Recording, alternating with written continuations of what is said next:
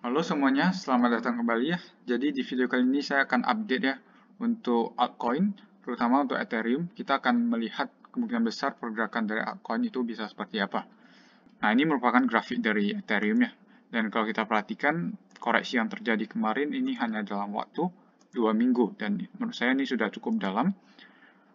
Walaupun kita masih berpotensi untuk turun sampai ke area 1700-an. Menurut saya ke depannya pemantulan bakal terjadi di area 1700 ini. Maksimumnya mungkin bisa membuat wick di area 1500. Jadi untuk minggu depan saya akan ekspektasikan sedikit kenaikan dulu sebelum jatuh ke area 1700 ini. Nah untuk trend altcoin pada umumnya, kebanyakan juga bakal ngikutin harga dari si Ethereum ini.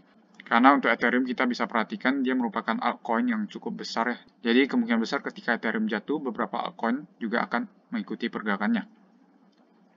Nah, kalau saya analisa dari time frame daily ya, kita bisa perhatikan ini trend bearishnya memang masih sangat kuat ya.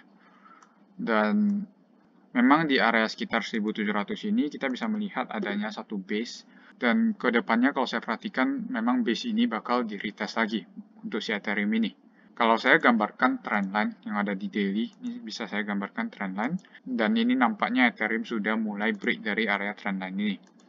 Nah, kita tinggal tunggu ya untuk besok kalau dia berhasil break dari trendline ini, kemungkinan besar kita bisa menuju ke area 1700-an. Nah, kalau saya tarik Fibonacci-nya di atas ke bawah, memang kita masih ada potensi kenaikan mungkin ke area sini, tapi ini harusnya setelah penurunan terjadi dulu. Karena memang kalau kita perhatikan tren saat ini masih sangat bearish, kecuali nanti terjadi kenaikan atau terjadi candle hammer yang bisa mendorong harga ke area 2800. Nah, untuk target keduanya ada di area 3100. Jadi, buat teman-teman yang masih nyangkut di pucuk dan berencana untuk cut loss, mungkin bisa di area-area tersebut. Nah, ini bukan rekomendasi untuk cut loss ya, semua tergantung lagi money management dan risk managementnya teman-teman. Jadi, kurang lebih seperti itu view yang saya lihat untuk si Ethereum ini. Maksimumnya mungkin dia bisa ke area 3400, tapi kemungkinannya lebih kecil ya untuk ke area 0,618 retracement ini. Kalau saya perhatikan kemungkinan yang paling besar itu ada di area 3100. Jadi kurang lebih seperti itu untuk chartnya Ethereum. Sekarang saya akan coba bahas lagi ya untuk koin lain BNB. Nah untuk BNB sendiri kita juga bisa perhatikan ya penurunan juga terjadi lumayan dalam. Dan kalau saya perhatikan ini dia baru saja break lagi ya area supportnya di 274 dan jatuh ke area yang lebih rendah lagi. Untuk target berikutnya untuk BNB ini saya akan ekspektasikan penurunan ke area 204 ini. Karena ini bakal jadi area support yang cukup kuat untuk BNB. Nah, buat yang mau short term trading mungkin bisa masuk di area sini dan keluar di area 300-an. Jadi itu bisa jadi opportunity buat short term trading. Nah, kalau saya tarik ya untuk Fibonacci-nya dari low ke high, memang area support yang ada di sini ini juga ada confluence dengan 0,786 retracement. Jadi 0,786 retracement ini juga sangat mungkin untuk dicapai. Tapi kita perhatikan lagi ya reaksi yang terjadi besok di area 0,618. Memang kemarin sudah terjadi rejection di area sini, tapi itu hanya beberapa hari ya, kemudian jatuh kembali. Nah, target selanjutnya itu ada di sekitar 178 sampai area 200. Nah, saya akan ekspektasikan pemantulan di area tersebut. Mungkin ke area 300 kembali ya. Dan untuk BNB sendiri, kalau saya perhatikan ini memang juga masih belum ada candle reversal yang muncul ya di time frame 1 day. Jadi kita harus tunggu lagi candle engulfing di area support sebelum kita bisa memastikan area tersebut bakal jadi area yang cukup valid. Dan kita harus tahu ya untuk market crypto ketika penurunan terjadi memang kebanyakan supportnya akan dijebol secara cepat. Jadi kita harus punya lumayan banyak konfirmasi ya sebelum kita buy di area support. Oke, jadi kurang lebih seperti itu untuk BNB sendiri. Sekarang saya akan lanjutkan ke koin Matic ya.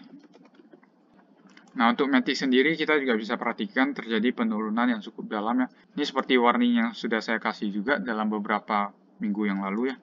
Kita bisa perhatikan kalau saya lihat di chart weekly-nya memang sudah terlalu eksponensial. Dan kita akan melihat koreksi lagi. Dan ini kesempatan kita buat akumulasi Matic ya. Tapi menurut saya area yang cukup ideal mungkin kita bisa tunggu di area sekitar 0,56. Karena di candle weekly-nya ini sudah ada candle week yang lumayan panjang. Dan kemungkinan besar kita masih berpotensi untuk turun ke area 0,56 ini. Ya, walaupun minggu depan mungkin kita bisa ada sedikit kenaikan, setelah itu bakal dibanting kembali. Kalau saya perhatikan skenario-nya kurang lebih bakal seperti itu. Jadi area yang cukup bagus itu bukan saat ini, tapi di area 0,56. Nah, itu juga kita harus tunggu lagi candle konfirmasi yang muncul. Ketika ada candle bullish reversal yang muncul di area 0,56 ini, kita bisa coba untuk akumulasi perlahan. Nah, dari sana baru kita coba targetkan untuk medium term atau lebih long term. Jadi kurang lebih seperti itu untuk Matic. Sekarang saya akan coba lihat di time frame daily ya. Nah, untuk candle daily juga sama, candlenya masih cukup bearish ya. Ya, walaupun setelah koreksi yang cukup dalam, mungkin di area sekitaran 0,7 ini saya akan ekspektasikan sedikit pemantulan dulu ke atas Nah, dari sana baru saya mengekspektasikan penurunan ke area 0,57 yang saya sebutkan tadi. Jadi memang untuk skenario-nya kita masih bisa melihat sedikit kenaikan ketika menyentuh area base yang ada di sini, 0,7 sampai 0,95. Jadi kurang lebih seperti itu ya untuk Matic. Nah, sekarang saya akan lanjutkan ke koin terakhir ya, koin SRP. Nah, untuk koin SRP sendiri kita bisa perhatikan ini ada potensi dari harmonic pattern ya Di mana kalau saya gambarkan untuk harmonic pattern-nya, nah ini merupakan harmonic pattern ya, jadi kita memang masih ada sedikit penurunan lagi. Menurut saya bakal reject di area 0,62 sampai 0,77 ini. Nah, rejection di area sini ini bisa digunakan untuk short term trading dengan target ke area sekitar 1 dolar. Jadi harusnya area 1 dolar ini bakal di kembali sebelum jatuh ke area yang lebih rendah. Nah, untuk SRP sendiri kalau saya perhatikan view-nya jadi lebih bearish ya karena kita bisa perhatikan news yang bermunculan kemarin ada di area support yang ada di sini, kemudian supportnya berhasil jebol. Artinya orang-orang sudah tidak begitu confident ya dengan market yang ada di XRP ini. Nah, dari area sini, base yang ada itu ada di sekitar area 0,3 sampai 0,6. Jadi itu sangat mungkin juga kalau nantinya koreksi makin dalam lagi ke area tersebut. Jadi untuk SRP ini kalau saya perhatikan kita memang harus lebih waspada karena newsnya yang keluar juga masih belum begitu mendukung pihak si Ripple ini.